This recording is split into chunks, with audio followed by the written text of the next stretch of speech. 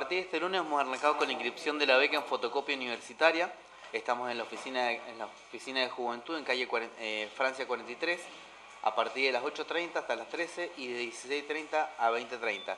Este es el programa que anualmente lanza todos los años la oficina de juventud y el cual contempla el beneficio de fotocopias para 1.200 eh, estudiantes universitarios a lo largo del año.